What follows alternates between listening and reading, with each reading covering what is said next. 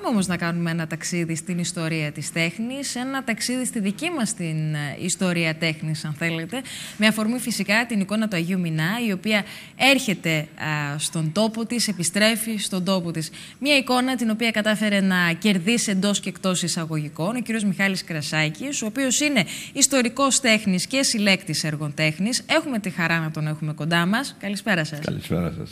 Σας ευχαριστούμε πολύ που είστε εδώ. Ε, η αλήθεια είναι ότι είδα και χθες το ρεπορτάζ της Γεωργίας της ε, Μακάκης, στο κεντρικό μας δελτίο ειδήσεων, στο κεντρικό δελτίο ειδήσεων της Κρήτη TV. Και ε, εκείνο το οποίο διαπίστωσα είναι ότι είστε ιδιαίτερα συγκινημένος για την άφηξη της εικόνας αυτής ε, στο Ηράκλειο, είναι έτσι; Ακριβώς όπως το λέτε, είναι ένα πολύ ευτυχές γεγονός για δύο διαφορετικούς λόγους. Ο πρώτος είναι ότι έπαιξε κάποιο ρόλο mm -hmm. στην εξασφάλιση. Σημαντικό.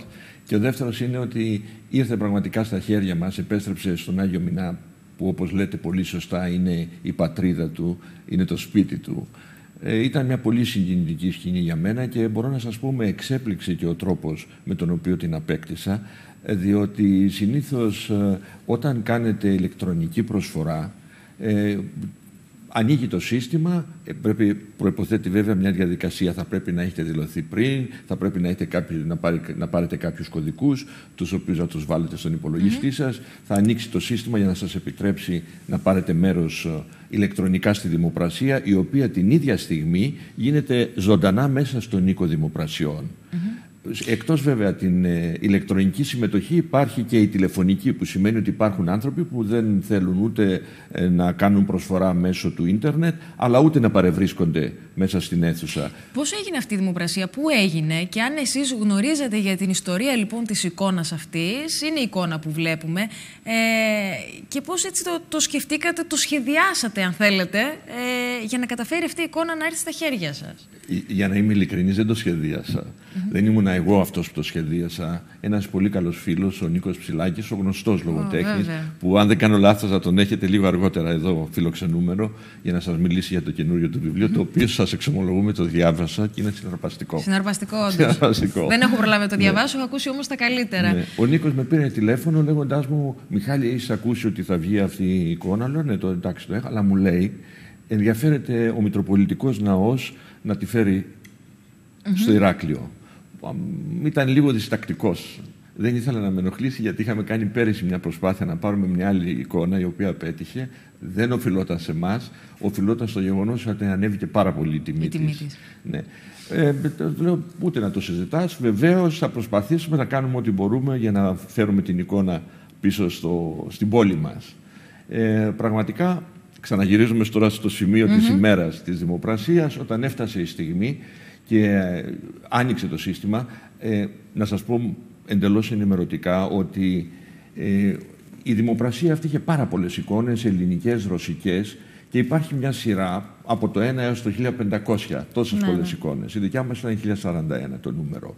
Ε, έπρεπε όμως να βρίσκουμε μπροστά από το πρωί, διότι συμβαίνουν καμιά φορά κάποια παράδοξα πράγματα. Δηλαδή μπορεί ξαφνικά ένας, ένα λος, ένας λαχνός όπως λέγεται, να αποσυρθεί ή μπορεί να αλλάξει σειρά. Σπάνια γίνεται, αλλά γίνεται. Έχουν καθεί ορισμένα πράγματα ακριβώς επειδή άλλαξε η σειρά. Είτε πήγε μπροστά, είτε πήγε πίσω. Το πίσω είναι καλό όταν ένα ένα νούμερο, ας πούμε το 100 πάει στο 110, δεν πειράζει, περιμένεις να έρθει η σειρά. Ναι, ναι, όταν πάει νωρίτερα, Αλλά όταν πάει νωρίτερα χάνεται. Ναι. Γι' αυτό yeah. είχα κάτσει από το πρωί μπροστά στον υπολογιστή μέχρι να έρθει η σειρά της. Ήρθε, άνοιξε το σύστημα, έκανα κατευθείαν την προσφορά με ένα κλικ.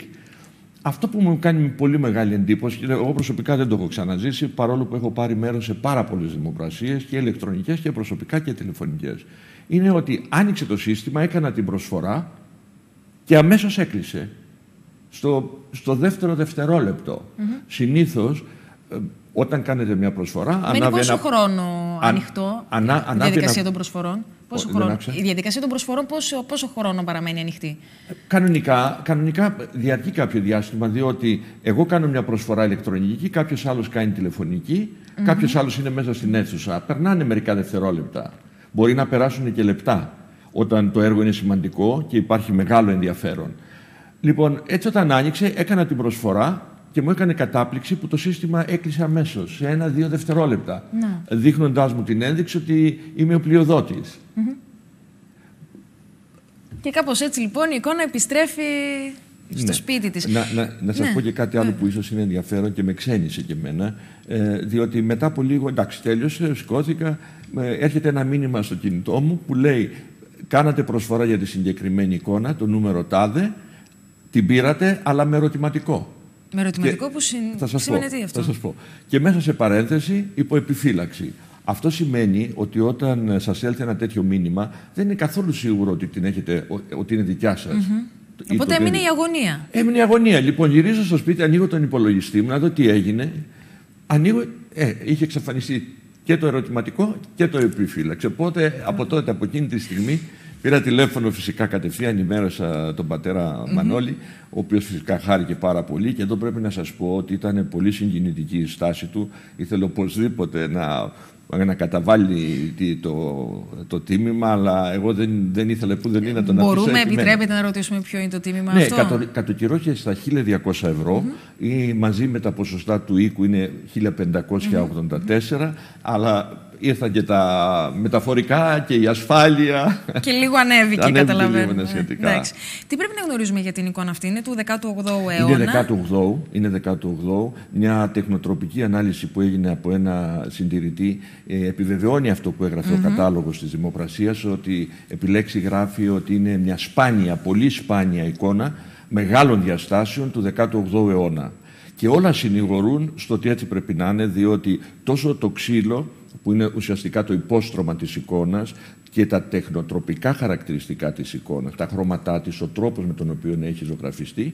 Και επιπλέον ένα πολύ σημαντικό στοιχείο ε, που θα το δείτε όταν ε, τεθεί σε προσκύνημα ε, η εικόνα είναι ότι δεν έχουμε ένα ε, που συνηθίζεται σε άλλες εικόνες ένα, α, ένα προσχέδιο με μολυβι από κάτω, πάνω δηλαδή στο χρυσό που είναι πάνω από το γύψο, αλλά είναι ουσιαστικά χαραγμένο με κάποιο εχμηρό αντικείμενο που σημαίνει ότι η- υπά- υπάρχει, δεν έκατσε δηλαδή να κάτσει να το σκεφτεί, να το ζωγραφίσει, αλλά υπάρχει και μια, ένας αυθορμητισμός. Μάλιστα.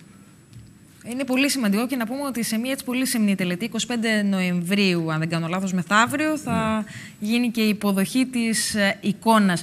Μας δώσατε έτσι και μια εικόνα στο πώς λειτουργεί η αγορά τέχνης και για όποιον μας παρακολουθεί, ο οποίος, ξέρετε, δεν μπορεί να γνωρίζει και πολλά πράγματα, γιατί την Ελλάδα δεν είναι και κάτι πολύ γνώριμο αυτό, η δημοπρασία ε, στην αγορά τέχνης. Ε, θέλω όμως, επειδή μας πιέζει και ο χρόνος, να αναφερθούμε και στη δική σας την προσωπική πορεία. Είστε ιστορικός τέχνης, είστε συλλέργος, ε, συλλέκτης έργων τέχνης, έχετε όμως διαπρέψει και στην Deutsche Welle από το 1975 μέχρι Ναι, το ναι.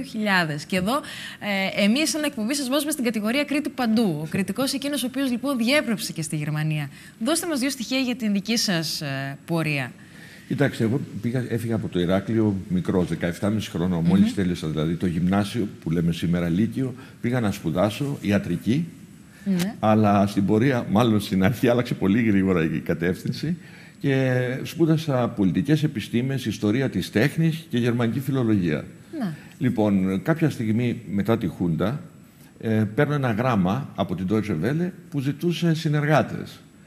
Χωρίς εγώ να έχω δείξει κανένα ενδιαφέρον, το είχαν μάθει από το πανεπιστήμιο μάλλον. Γιατί τότε, αν θυμόσαστε, οι περισσότεροι έφυγαν. ε, Τα παιδιά που δούλευαν τότε στην Deutsche Welle, με τη μεταπολίτευση κατέβηκαν όλοι στην Ελλάδα, έκαναν καριέρα, όπως ο Κώστας ο Νικολάου για παράδειγμα, που έγινε βουλευτής.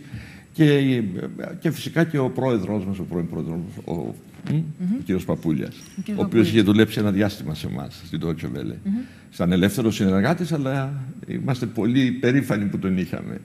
Λοιπόν, ε, πράγματι πήγα, έκανα ένα τεστ. Μετά από δύο μέρες πήρα ένα τηλέφωνο. Ελάτε από εδώ, να αρχίσετε τη δουλειά. Έτσι ξεκίνησε το δημο- η δημοσιογραφική μου σταδιοδρομία. Ε, δούλεψα 25 χρόνια. Ήταν εύκολα αυτά τα 25 χρόνια; Ναι, πάρα πολύ εύκολα να ξέρετε γιατί. Γιατί δεν είχαν κάποιο. Δεν, δεν, με, δεν με πίεσε ποτέ κανένας. Δηλαδή, ουδέποτε μου είπε κάποιος Γερμανός προϊστάμενος, γιατί φυσικά ήταν όλοι οι Γερμανοί προϊστάμενοι, Ε; Δεν μου είπε ποτέ κάνε αυτό, μην κάνεις τούτο, γιατί είπες αυτό, γιατί το έβγαλες, γιατί δεν το έβαλες. Είχαμε δηλαδή μια, πραγματικά, ε, μια πραγματική ελευθερία στη δουλειά μας πάνω. Παρότι ήταν δημοσιογραφία σε δύσκολα χρόνια. Βέβαια, βέβαια, βέβαια. Α, αλλά εκεί το σύστημα είναι εντελώς διαφορετικό. Δηλαδή, μέσα στο ραδιοφωνικό σταθμό εκπροσωπούνται όλες οι κοινωνικές και πολιτικές ομάδες. Mm -hmm. Δηλαδή, δεν υπάρχει. Ε, ε, μπορεί το κυβερνών, το εκάστοτε κυβερνών κόμμα ε, να, έχει, να διορίζει το γενικό διευθυντή. Αυτό είναι και εκεί έτσι. Αλλά είναι η δομή του σταθμού τέτοια που δεν επιτρέπει αυθαιρεσίες. Ναι. Ούτε στο διευθυντή, ούτε στον αναπληρωτή διευθυντή. Είδατε αυτά τα 25 χρόνια να μεταβάλλεται και η σχέση άλλοτε καλή, άλλοτε κακή, άλλοτε στεντωμένο σκηνή ανάμεσα σε Γερμανία και Ελλάδα, να καταγράφεται αυτό και στην κοινωνία της ε, Γερμανίας; Κοιτάξτε να σας πω, δεν το είδα σε τέτοιο έντονο βαθμό όπως ε, παρουσιάστηκε εν μέρη ε, εδώ. Δηλαδή, καταρχάς το ξέρετε πολύ καλά, οι περισσότεροι Γερμανοί είναι φιλέλληνες.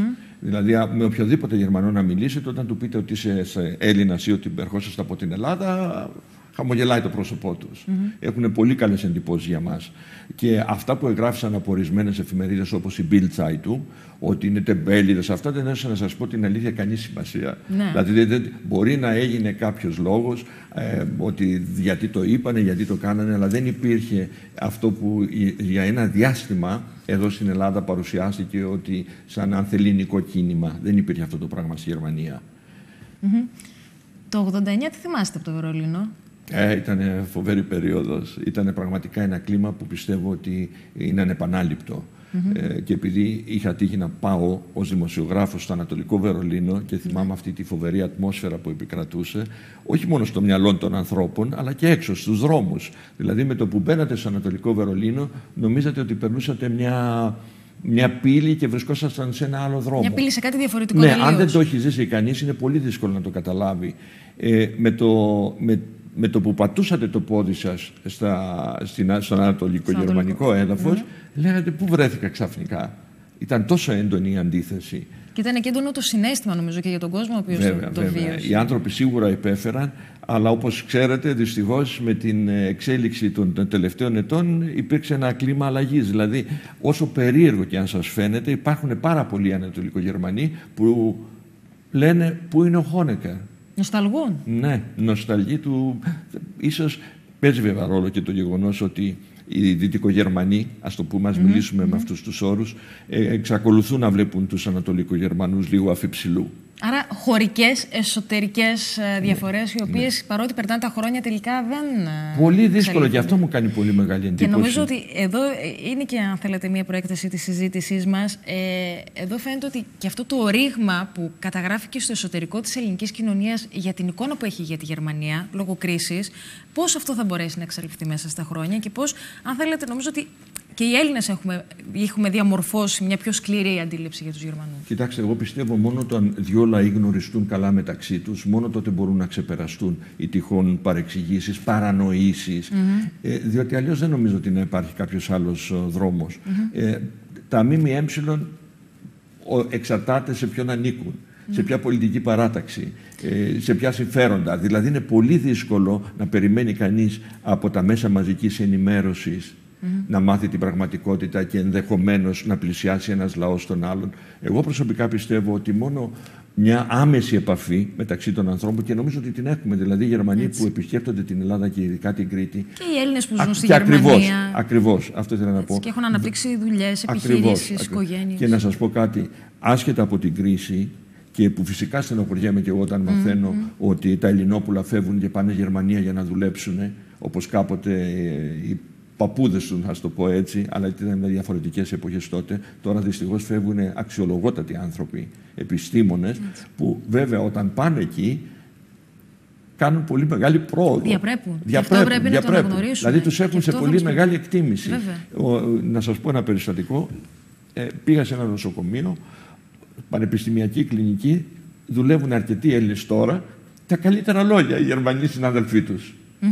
Άξιοι επιστήμονες, άξιοι συνάδελφοι, Έτσι. εξαιρετικά παιδιά. Επειδή γνωρίζω ότι και τα δύο σας παιδιά ζουν στη Γερμανία ε, και εσείς βρίσκεστε λίγο στην Κρήτη, λίγο στην Γερμανία, το έχετε μοιράσει. Έχετε ζήσει όμως πολλά χρόνια εκεί. Και επειδή όμως μας πιέζει και λίγο χρόνος, αλλά δεν μπορώ να μην σας ρωτήσω, ποιο είναι το πιο δύσκολο κομμάτι για έναν Έλληνα ο οποίος μεγαλώνει την οικογένειά του στο εξωτερικό, μεγαλώνει την οικογένειά του στη Γερμανία ε, εν ε, προκειμένου, αλλά και ποιο είναι και το πιο μεγάλο, ε, αν θέλετε, προτέρημα, το οποίο ζήσατε εσείς, βιώσατε εσείς. Ναι. Ε, ε, δεν θα έκανα α- α- ακριβώς τη σύγκριση αυτή με τον εαυτό μου, γιατί ήταν τότε διαφορετικές οι προϋποθέσεις που είχα. Αυτό με- που με ρωτήσατε, μπορώ να σας το απαντήσω πολύ απλά.